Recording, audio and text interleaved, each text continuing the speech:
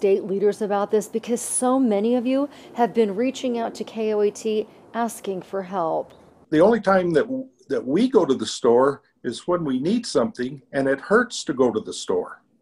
It, it hurts. Bob Bass is a disabled Vietnam veteran who lives in Farmington. Like so many New Mexicans, he has had to wait in these very long lines to get groceries and other supplies, even in the freezing cold. It's been definitely a challenge. Uh, you know, they have they have uh, senior hours at these stores, and they're usually very very early in the morning and it's cold and you get all the seniors going early in the morning there's still long lines bob uses a walker he says even with some restrictions lifted he still sees so many of the elderly and disabled waiting worrying and suffering i've seen people in line uh, in wheelchairs uh, in the same shape as me on a walker and you know it's it's it's very disheartening that these stores have not made any accommodations uh, you know, for the handicapped, you know, during during this pandemic. Bob also says he's tried ordering items ahead of time and picking them up, but says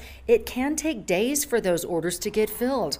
For a lot of the elderly and disabled, they can't wait days for basic supplies. And I'm not talking about this only for myself. I'm talking about it for all the other people that have experienced the same thing that I have. I did reach out to the governor's office to see what she had to say about this. I'll have that report coming up at 6.